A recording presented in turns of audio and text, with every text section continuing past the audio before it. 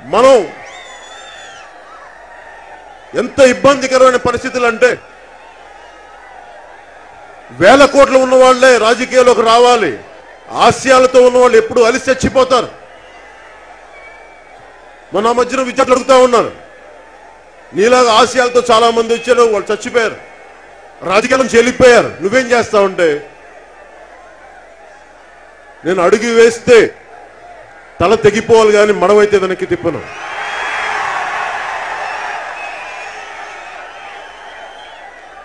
మార్పు నేను కోరుకుంటే వస్తుందా? రెండు వేల ఒకటిలో కోరుకుంటే వచ్చిందా? రాలేదు. రెండు వేల తొమ్మిదిలో కోరుకుంటే వచ్చిందా? చిన్నప్పుడు మా అన్నయ్య చెప్పాడు నాకు ఒక చిన్న ఉదాహరణ. లెనిన్ రష్యన్ నాయకుడు లెనిన్ రష్యన్ రెవల్యూషనరీ లీడర్. ఒక మాట అన్నాడు. అదేంటంటే మార్పు రావడానికి ఆల్రెడీ సమాజంలో గర్భధారమైన పరిస్థితులు ఉంటే నాయకుడు అనేవాడు వచ్చి మంత్రసాని పనిచేస్తాడని. ఈ రోజున మీరందరూ ఇంతమంది ఉన్నారు మార్పును కోరుకుంటున్నారు. అది నా గొప్పతనం అనుకోట్ల. మీరందరూ కోరుకుంటా ఉన్నారు. మీ గొప్పతనం మీ మార్పును కోరుకుంటున్నారు కాబట్టి నేను ఈరోజు మీ ముందున్నాను తప్ప నేనేదో ప్రభావితం చేస్తే మీరున్నాను నేను అనుకోట్లేదు. ఎందుకంటే నాయకులు ఎవరు కూడా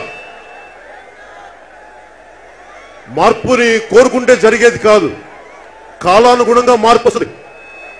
ఋతువులు ఎలా వచ్చి వెళ్ళిపోతాయో మార్పు కూడా అలాగే వస్తుంది. ఇన్ని దశాబ్దాలు ఎనభైల తర్వాత వచ్చిన ముఖ్యమంత్రి అప్పటి ముఖ్యమంత్రి ఎన్టీ రామారావు గారు వచ్చినప్పుడు ఆయన సంపూర్ణమైన వయసులో వచ్చారు. అరవై సంవత్సరాలు దాటిన తర్వాత మనవాళ్ళు పుట్టిన తర్వాత అందరూ కోరుకుంటే హౌస్ మార్పుకి అలాంటి వ్యక్తి వచ్చారు. నేను వారితో కంపేర్ చేసుకుని నేను ఎప్పుడు. నేను కోరుకుంటుంది ఇంకా నాకు సూపర్ స్టార్డమ్ ఉండగానే ఎందుకు రాజకీయాల్లోకి వచ్చానంటే ప్రతి రాజకీయ నాయకుడు మిమ్మల్ని ఎలా వాడుకోవాలి యువతని ప్రజల్ని ఎలా వాడుకోవాలి ప్రజల్ని ఓట్ బ్యాంక్గా చూడాలి. ఇలాంటి పరిస్థితుల్లో యువతని వాళ్ళ భవిష్యత్తుకు వాడుకుంటున్నారు కానీ మీ భవిష్యత్తు గురించి మాట్లాడే వాళ్ళు ఒక్కరు రాలా. నేను కోరుకుంది మీరు చూశారు సినిమాలు. మీ భవిష్యత్తు బాగుండాలి. పాతిక సంవత్సరాలు భవిష్యత్తు ఇవ్వడానికి నా భవిష్యత్తును వదులుకొని మీకు పాతిక సంవత్సరాలు భవిష్యత్తు ఇవ్వడానికి నేను వచ్చాను ఇక్కడికి. ఈ వీడియోపై మీ విలువైన కామెంట్స్ని మాతో షేర్ చేసుకోండి. అండ్ ఇంకో విషయం సబ్స్క్రైబ్ చేయడం మర్చిపోకండి.